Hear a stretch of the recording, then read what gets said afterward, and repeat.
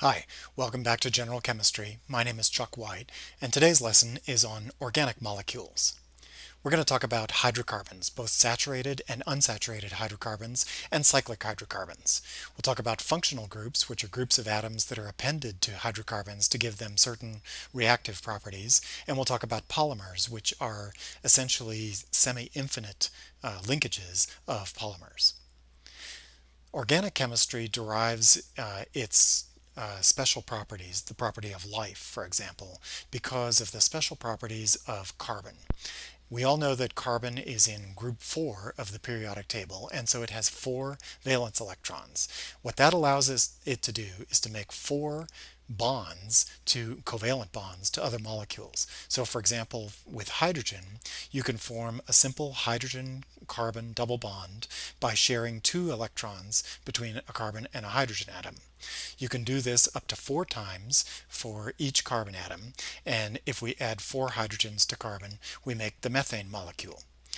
The other thing you can do with carbon is to make carbon-carbon uh, covalent bonds. And if we do that, we can make ethane out of two carbon molecules, uh, carbon atoms, and six hydrogen atoms, three on each carbon.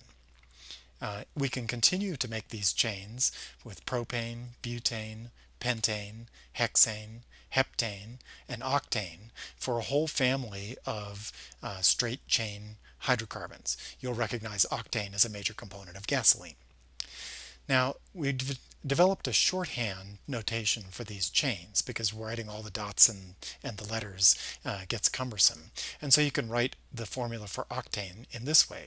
But for long-chained hydrocarbons, this is also a little bit cumbersome. And so we've developed another shorthand which represents the carbon-carbon bonds as segments in this uh, jointed chain. And so uh, you can represent octane by um, seven of these linked bonds. Uh, the end of uh, each segment uh, is represents a carbon atom and each joint in the chain represents a carbon atom. And so the end carbons have three hydrogens on them and everything in the middle has two hydrocarbons.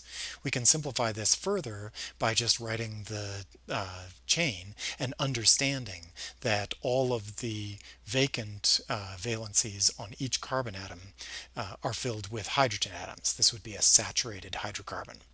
And so really octane looks like this with um, all of the hydrogen atoms and carbon atoms, but we represent it symbolically by just the zigzag line. Now carbon in addition to forming double bonds, uh, single bonds, you can form a double bond between two carbon atoms. And the simplest one of these is ethene, which is C2H4. Here, remember, each carbon can make four bonds.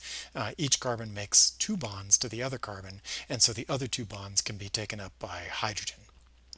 Now, just as for saturated hydrocarbons, these unsaturated hydrocarbons, which don't have the full complement of hydrogen atoms because of the carbon-carbon double bonds, can be represented by these stick figures. Propene, for example, which is CH2, CH, CH3, can be represented in this shorthand notation where we have the um, just the sticks representing the carbon-carbon bonds, but one of these sticks is doubled uh, to represent the carbon-carbon double bond. There are lots of unsaturated hydrocarbons, propene, 1-butene, which says that um, butene uh, says that there are four carbon atoms. 1-butene says that uh, there is a double bond between, starting with carbon atom number 1. 2-butene has the double bond starting with carbon atom number 2 as you list them in order from left to right. Uh, there's propyne, which has a carbon-carbon triple bond, 1,3-butadiene, which has two double bonds, one between carbon atoms 1 and 2, and the second one between carbon atoms 3 and 4, or 2,4-hexadiene. So there are systematic names for these things. There are also cyclic hydrocarbons. Cyclopentane has uh, five carbons in a ring. Each carbon atom has two hydrogen atoms attached to it. Cyclohexane has six uh, carbon atoms in a ring. 1,3-cyclohexadiene is like cyclohexane except it has um, two carbon-carbon double bonds and the first one starts with carbon atom number one and the second one starts with carbon atom three. Cyclohexatriene has the special name benzene. Benzene um, has uh, six carbon atoms in a ring with three double bonds. Uh, that makes each carbon atom have one extra valency for uh, making a carbon-hydrogen bond, and we normally represent benzene by the shorthand notation where we just write the ring and three double bonds. Now, in addition to hydrocarbons, we have functional groups, and there are lots of different kinds of functional groups that can be attached to hydrocarbons to give them special reactive properties. So for example, halides uh, can be formed by substituting one of the or one or more of the hydrogen atoms with a halogen atom. Uh, fluorine, chlorine, bromine, iodine, and so forth. And so we have chloromethane 1,2-dichloroethane, where we've replaced two of the hydrogen atoms uh, with uh, chlorine atoms, and 2-bromopentane, where we would have a chain of five um, carbon atoms and on carbon atom number two numbering from the left hand side uh, we've replaced one of the hydrogen atoms with a bromine atom and so this is how we keep our stick notation uh, for some of the functional groups like halides like halides, there are alcohols which have OH groups instead of a, a halide. Here are four examples of simple alcohols. Uh, we have aldehydes, which include the functional group CHO, a carbonyl with a carbon-hydrogen bond. Uh, formaldehyde is the simplest of these. Acetaldehyde has two carbons instead of one, where you have CH3CHO. And butylaldehyde has four carbon atoms, the last of which has this CHO functional group in it. Ketones also uh, employ the CO or carbonyl functional group, but instead of doing it at the end of the molecules where you get a CHO, you do it in the middle of the molecule. And so, for example, the simplest ketone is acetone, which has a carbonyl group capped by two methyl groups. There's methyl ethyl ketone, which is a little bit more complicated, and cyclohexanone, which is like cyclohexane, but where two of the hydrogen atoms have been replaced by a CO double bond. Acids, uh, organic acids, are similar, and they um, employ the functional group COOH, so a carbonyl group with an OH group instead of just an H like you'd find with an aldehyde. There's acetic acid, which is vinegar, benzoic acid, and trifluoroacetic acid, many different types, but they all have the COOH functional group. Last, we want to look at polymers. And polymers are very long chains of molecules, usually formed by taking a simple molecule and linking them up head to tail, uh, one right after another.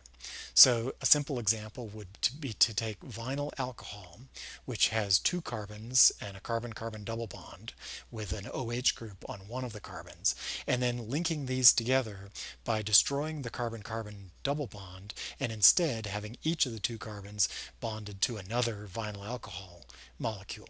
So in this way you form a long, long chain uh, of alternating uh, carbons where every other carbon atom has an OH group on it.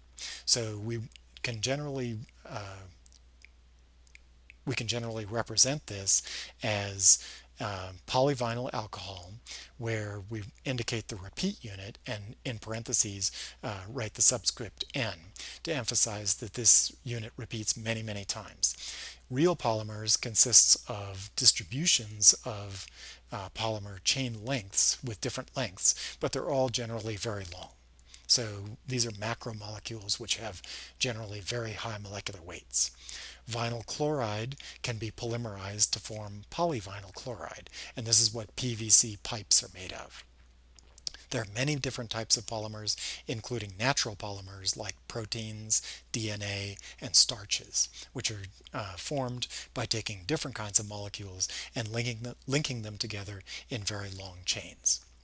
Next time we'll talk about chemical reaction yields, we'll talk about reaction stoichiometry, uh, limiting reactant and percent yield, we'll talk about aqueous ionic reactions and acid-base reactions, and a little bit about oxidation reduction reactions. We'll see you then.